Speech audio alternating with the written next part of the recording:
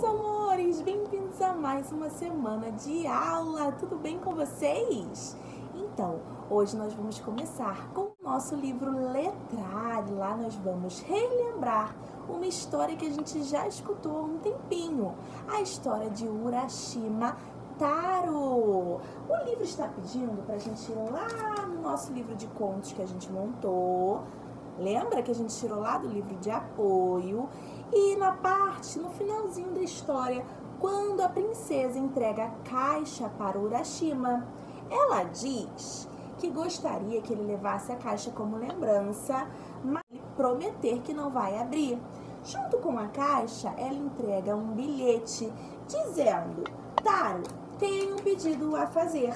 Nunca abra esta caixa. Jamais, princesa do fundo do mar. Este é o bilhete, estão vendo? Junto com a caixa. Ele quebrou a promessa, infelizmente. E o que aconteceu? Ele envelheceu. Não era mais jovem e não podia mais voltar lá para o palácio do fundo do mar. Que peninha, né? E nunca mais ele iria encontrar a princesa nem a sua família. Poxa, porque já tinha passado, ó, um tempão Japão. Mas quem deixou mesmo esse bilhete pro Urashima com a caixa? Foi quem? Foi a princesa, muito bem. E para quem a princesa deixou esse bilhete? Pro Taro, pro Urashima Taro, junto com o quê? Com a caixa. Muito bem. Então vamos circular lá no texto do bilhete, aonde está escrito o nome Taro se o, o bilhete era para ele, com certeza o nome dele está escrito no bilhete. Porque quando a gente vai escrever um bilhete, a gente precisa dizer o nome da pessoa que vai receber e da pessoa que está escrevendo aquele bilhete. Olha aqui, o nome dele é a, a primeira palavrinha do bilhete. Taro. Vamos circular. Agora é a hora da gente escrever o bilhete pro Urashima Taro. Gente fosse escrever uma forma diferente para o Urashima não abrir aquela caixa de jeito nenhum, uma forma diferente do que a princesa já escreveu, ela disse: Taro, tem um pedido a fazer. Isso também está no nosso bilhetinho azul. Então, depois de Taro, tem um pedido a fazer, a gente vai escrever diferente. Vamos, podemos escrever assim, começando com uma palavrinha mágica, porque a princesa adorava Taro, então ela tem que ser educada. Vamos usar então a palavrinha por favor. Talvez se ela fosse mais educada usando essa palavrinha do bilhete, ele não abriria, né? Vai que. Por favor, vamos usar essa palavrinha? Vamos escrever então com a tia a frase, começando com a palavrinha mágica por favor.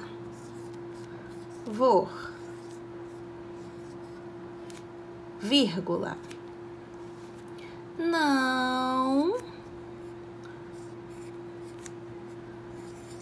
abra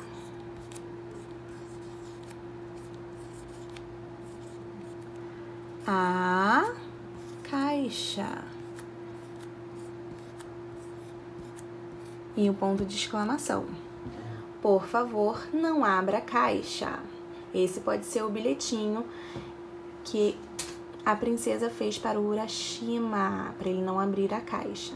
E além dele continuar jovem, ele podia voltar para o fundo do mar, certo? Então vamos desenhar neste retângulo grandão aqui embaixo como seria se ele não tivesse aberto a caixa. Ele jovem, junto com a princesa lá no fundo do mar, indo visitar ela sempre que pudesse, sempre que sentisse saudade. Agora um outro desafio sobre a história de Urashima. Lá na página 15, o livro está perguntando o que aconteceria se Urashima Taro não tivesse aberto a caixa. Ele não envelheceria, porque o que aconteceu logo que ele abriu a caixa?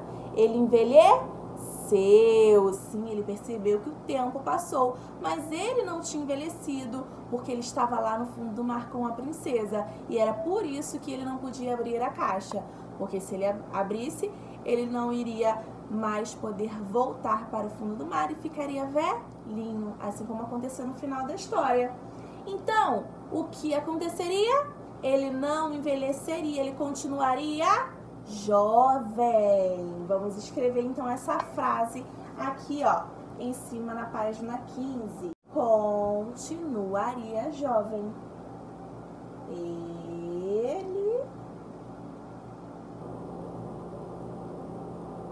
com ti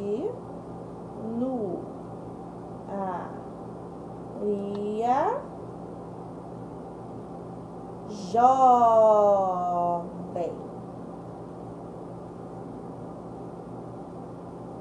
Ponto final. Três palavrinhas. Ele continuaria jovem. Além dele continuar jovem, ele podia voltar para o fundo do mar, certo? Então vamos desenhar neste quadrado, neste retângulo grandão aqui embaixo, como seria se ele não tivesse aberto a caixa. Ele jovem junto com a princesa lá no fundo do mar, indo visitar ela sempre que pudesse, sempre que sentisse saudade. Agora vamos para a página 16. Lá nós temos todo o material que Urashimataro usava para pescar. Agora nós vamos olhar para a lista que ele escreveu. Estão vendo? Uma lista sempre tem um título. Por exemplo, quando a lista é lista de mercado, a gente escreve lista de mercado e coloca os alimentos. Aqui é a lista de objetos que Urashima leva para a pesca. Então está escrito o que levar na pescaria. Esse é o título da lista. E aqui nós temos a cesta, anzol, vara, água. Aqui nós temos a água, lençol, que são os paninhos que a tia falou aqui, as castanhas e o protetor solar. Então a gente vai ligar as palavrinhas até as imagens correspondentes. A primeira é a cesta. Onde está a cesta? Aqui. A segunda, anzol. A terceira, a vara de pescar. A água, o lenço, castanhas e o protetor solar. Vamos ligar todos os objetos da lista. E depois nós vamos voltar na lista para ver quais são as palavrinhas que começam com a mesma letra. Vamos lá. Ó, a palavrinha sexta começa com a letrinha C. Tem outra palavrinha que começa com C? Sim, as castanhas. Então a gente vai pintar as duas palavrinhas da mesma cor. Pode escolher uma cor e pintar as duas com a mesma. O anzol começa com a letrinha A. Tem alguma outra que começa com A? A água. Então vamos pintar as duas. Muito bem. Agora nós temos alguma outra palavrinha que começa com a mesma letrinha? Não, não, não. Somente essas quatro. Agora nós podemos ir para a próxima página, a página 17. Lá nós temos um jornal. Quem aí já viu o jornal? Alguém lendo o jornal? O papai, o vovô, a mamãe. Sim, esse é um jornal e aqui nós temos uma notícia. A tia vai ler. O nome do jornal é esse aqui: Jornal da Ilha. Me... Olha, eu vou ler o que aconteceu. Meninos são flagrados maltratando tartarugas. Como a coragem de um pescador salvou a vida de uma tartaruga centenária? O pescador Urashimataro encontrou na manhã de ontem três crianças que supostamente estavam reunidas para maltratar uma tartaruga marinha que descansava na praia. Olha, gente, esse é o título da notícia e essa é a notícia aqui embaixo que a gente acabou de ler.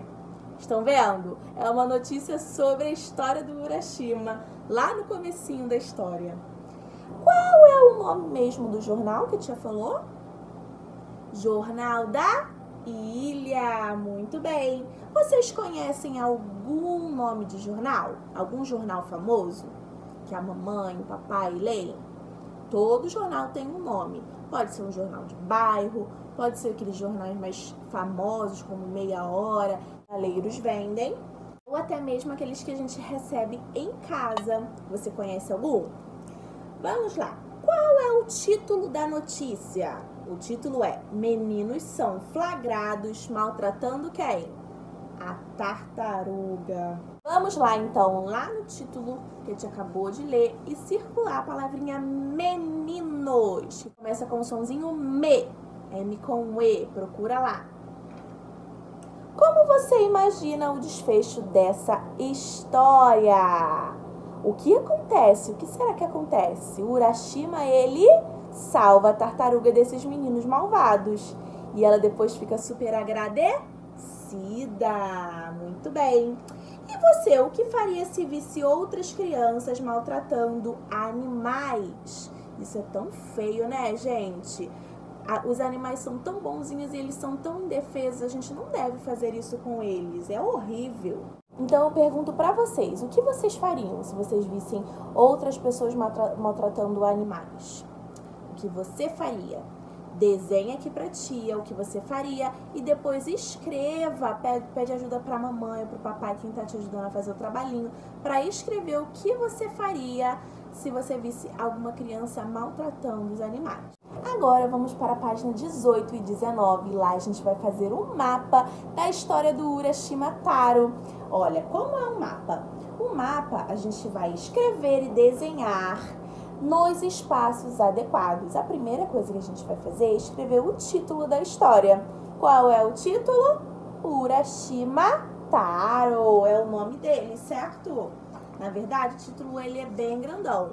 É o título e o subtítulo, mas a gente só vai precisar escrever o título principal, que é o nome do Urashima.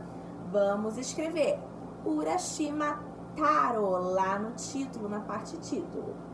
Depois, logo embaixo do título, nós temos dois quadradinhos para desenhar cenários da história. Quais são os cenários da história? O primeiro é a ilha, que é a praia, onde o Urashima diverte as crianças que estão lá maltratando a tartaruga. E o segundo cenário é no fundo do mar. Muito bem, então vamos desenhar esses dois cenários que aparecem na história. Agora, lá na página 19, no primeiro retângulo, esse pé, nós podemos desenhar os personagens, que não são muitos. O Urashima e a princesa são os personagens principais, mas nós temos também a tartaruga, que vocês podem desenhar aqui junto com o Urashima, tá bom? A última cena da história é qual, gente? É aquela cena super triste do Urashima ficando velho e sozinho, coitadinho. Vou mostrar pra vocês. Olha essa cena aqui. Vocês podem ir lá no livrinho dos contos que a gente montou e é, dar uma olhadinha na ilustração para tentar copiar ou fazer do seu jeitinho. Agora vamos escrever algumas palavrinhas de como a gente pode descrever o fundo do mar. Aqui, ó, nessa lista. Primeiro, o que vocês acham do fundo do mar? Como a gente pode dizer que ele é? Ele é colorido? Sim, o fundo do mar ele é muito colorido, porque lá nós temos animais de todas as cores e tamanhos diferentes. Temos os corais, que são aquelas plantas super lindas, lindas, lindas e coloridas. Nossa, é muito lindo o fundo do mar. Então a gente pode usar o que? A palavra colorido. Muito bem, vamos escrever a palavra colorido primeiro. O fundo do mar, se vocês não sabem, ele é muito grande, muito extenso. O mar em si ele é muito grande. A gente pode usar também esse adjetivo. O fundo do mar é enorme. Enorme, não é grande não, é enorme.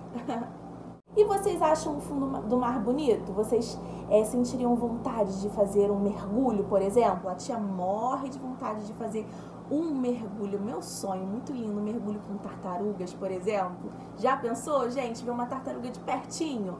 Então, o fundo do mar, ele é belo, ele é belíssimo. Vamos usar a palavrinha belo. E o fundo do mar, ele não tem só corais e coisas coloridas. Ele tem o quê? Muitos animais. E isso é uma coisa que descreve o fundo do mar também. Podemos escrever muitos animais nós temos no fundo do mar.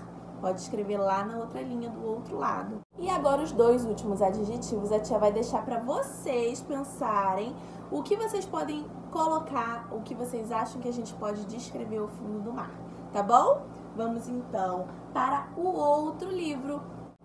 No livro numerar na página 14, nós vamos voltar para o assunto números ordinais que a gente conversou lá na outra aulinha, na outra semana, na semana passada. Aqui nós temos um prédio com 10 andares. Olha, gente, que prédio enorme. os prédios também, eles são organizados pelos números ordinais. A gente não fala é, andar número um. Ninguém fala assim. Todo mundo usa os números ordinais para se referir aos andares. Primeiro andar, segundo andar, terceiro e assim por diante. Mas em um prédio, a gente sempre tem a porta de entrada e logo depois da porta nós temos a recepção. Sim, onde fica o porteiro e a recepcionista. E esse não é o primeiro andar do prédio. Olha que interessante, gente. Essa é uma curiosidade sobre os prédios. O primeiro andar vem depois do térreo. É o nome desse andar aqui, onde tem a porta e a recepção. É o térreo.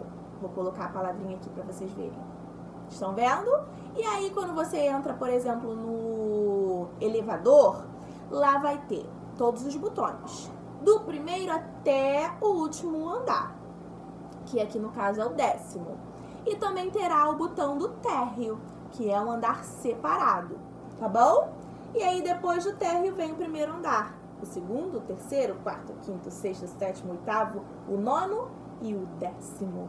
Legal, né, gente? E essas crianças aqui estavam brincando no pátio lá desse prédio. Tem um condomínio cheio de, de brinquedos, com parquinho e quadra. Elas estão querendo voltar para casa delas e para o andar de cada uma. Cada uma dessas aqui moram em um andar desse prédio. A gente vai levar, vai ajudar eles a chegar até o andar que eles moram. Do ladinho deles tem um número ordinal que corresponde ao andar do prédio que eles moram. Vamos procurar quem mora no primeiro andar? O primeiro andar ele é representado pelo número 1 um, com aquela bolinha do lado. Vocês lembram? Cadê a criança do primeiro andar? Essa aqui, ó. Vamos levar então ela até o primeiro andar. Não esqueçam que esse não é o primeiro, esse é o térreo, tá bom? O primeiro andar é este aqui. E o segundo? Cadê a criança do segundo andar? Aqui é uma menina. Vamos levar ela até o segundo andar. E assim até completar todos os andares, tá bom? Tentem procurar e façam com calma até ligar todas as crianças aos andares correspondentes. Agora nós temos um desafio na página 15, que também, ó, se refere a um prédio. Só que agora, ao invés de crianças, são passarinhos nas janelas. Olha que lindo, gente! Em quais andares não há pássaros? Observem, gente, qual andar não tem passarinhos? Os andares são na horizontal, deitadinho, tá bom? Vamos então olhar para ver qual andar não tem nenhum passarinho? Primeiro, tem algum passarinho no primeiro? Não. Segundo, tem. E no terceiro? Também não. Os outros todos têm passarinho. Só o primeiro e o terceiro que não. Vamos então colocar primeiro e terceiro andares. Há dois pássaros em qual andar? Vamos procurar. Aqui tem dois, aqui tem dois. Vamos contar então? Primeiro andar, não tem nenhum. Segundo, tem dois passarinhos. Segundo andar, já vamos colocar aqui para não esquecer. Nesse aqui não tem nada, no terceiro. No quarto andar tem dois também, ó. Um aqui do ladinho e o outro na frente. Quarto andar. No quinto tem três. No sexto temos dois também. No sétimo, três. E no oitavo, também temos três. Então, somente dois pássaros nós temos no segundo andar, quarto andar e no sexto. O sexto a gente representa com o número 6 e a bolinha. Ó, vou colocar os números aqui para a gente escrever no segundo retângulo. Agora, por último, os andares que tem três pássaros. Primeiro, segundo, terceiro, quarto, o quinto. Temos três pássaros quinto, o sexto não, o sétimo e o oitavo. Quinto, sétimo e o oitavo. Vamos escrever no terceiro retângulo. Terminaram? Agora nós vamos para o livro Brincadeira das Artes, na página 10. E lá nós vamos falar um pouco mais sobre Paul Klee. Vocês lembram dele? Aquela criança que adorava imaginar ilustrações na pedra de mármore quando ia ao restaurante? Então, esse artista também, além de ser um ótimo desenhista e um ótimo pintor, amava música clássica e também tocava um instrumento muito lindo, que é o violino. Esse instrumento aqui, feito de madeira com cordas, cordas, onde a pessoa utiliza essa parte para passar nas cordas e soltar um lindo som. A tia, inclusive, vai deixar o som agora para vocês escutarem do violino. Olha, gente, que coisa mais linda. Esse é o som que o violino faz. Paul Klee também usava a música clássica que ele amava para inspirá-lo a desenhar e a pintar. Essa, esse quadro aqui dele, essa obra, foi inspirado em uma música. O nome dessa obra é Pequena Paisagem Rítmica. Agora vamos para a próxima página. Faça uma pintura como Paul Klee. Pinte ao som da música Danúbio Azul. E para fazer essa pintura, esse desenho maravilhoso inspirado na música Danúbio Azul, vocês irão utilizar pincéis, pincéis e tinta guache. Se não tiver em casa, pode usar canetinha ou giz de cera e lápis de cor, tá bom? Agora que vocês já escutaram essa música linda e fizeram a pintura, depois manda a foto lá pra tia no WhatsApp ou na agenda. Vamos para a página 12 e aqui nós temos um lindo poema do lado dessa janela com o sol e a lua, do ladinho uma da outra. O nome do poema é Valsinha. É tão fácil dançar uma valsa, rapaz, pezinho pra frente, pezinho pra trás. Para dançar uma valsa é preciso só dois: o sol com a lua, feijão com arroz. Ah, gente, que bonitinho! Olha o feijão e o arroz dançando valsa juntinhos. Muito legal. Infelizmente, lá na sala a gente não vai poder fazer a valsa original, porque a gente precisa dar as mãos e juntar os, cor os corpinhos. E agora a gente não está podendo fazer isso.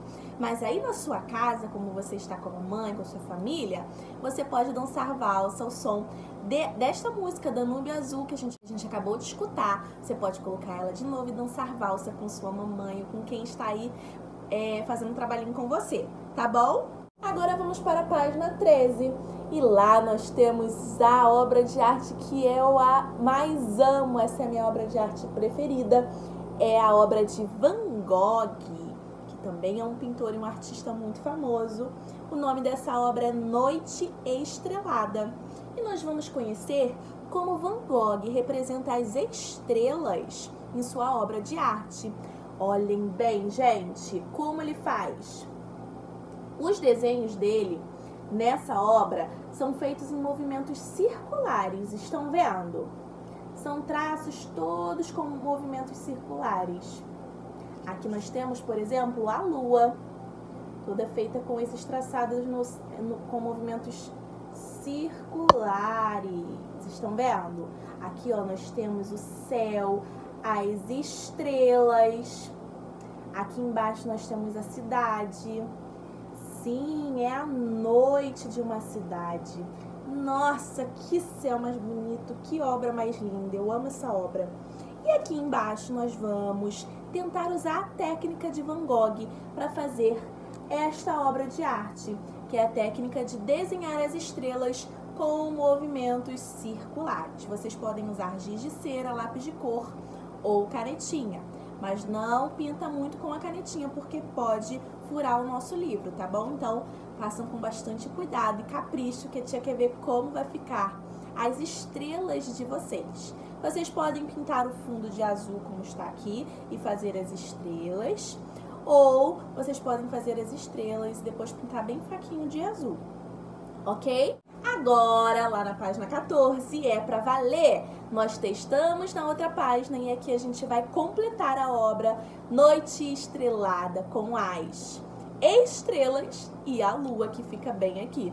Então, vamos completar Vocês podem também pintar o fundo de azul para ficar uma noite bem bonita. A noite ela precisa ser escura, então o fundo branco não vai servir. A gente precisa escurecer esse fundo com o azul escuro, azul marinho, e depois fazer as estrelas e a lua com os movimentos circulares, tá bom? Depois manda foto pra tia porque eu preciso ver, tia ama essa pintura, tá bom? Agora nós vamos para o nosso caderno, começando com os novos números ordinais que a gente vai aprender hoje. Semana passada a gente aprendeu do primeiro ao quinto. Essa semana a gente vai aprender outros dois, que vem depois do quinto, o sexto e o sétimo. Vamos então praticar esses dois números. Primeiro número 6, com a bolinha ao lado, que é o sexto, nome dele. Esse é o número ordinal sexto. Ó, vou escrever o nomezinho dele. Escrevam aí também no caderninho de vocês. Isto. E agora o sétimo, representado pelo número 7, com a bolinha do lado. Sétimo.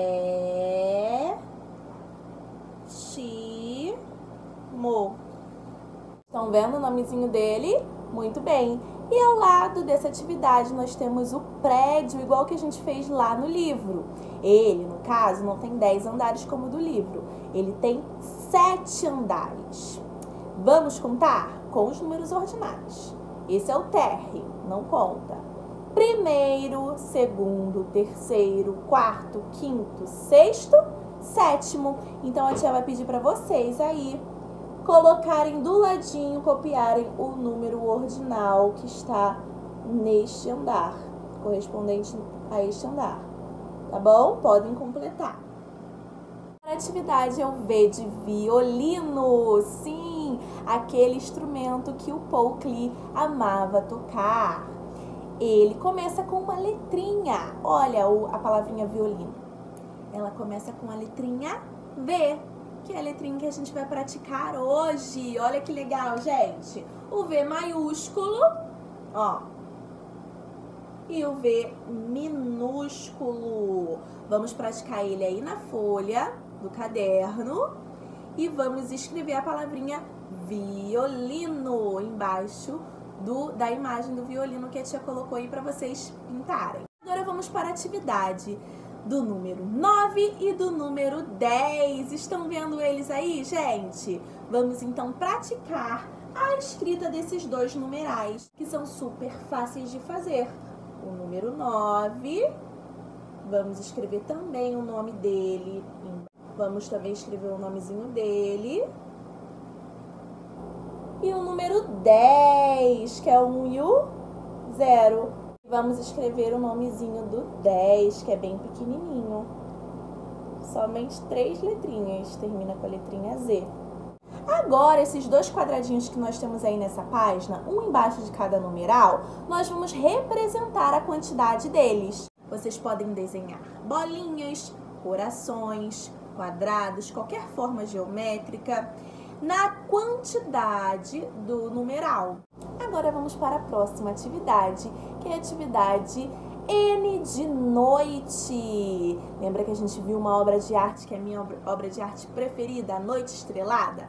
Então, a noite, ela é bem escura, mas a lua fica linda brilhando lá em cima junto com todas as estrelas. Então, nós temos uma noite estrelada. Ai, gente, eu amo as noites estreladas.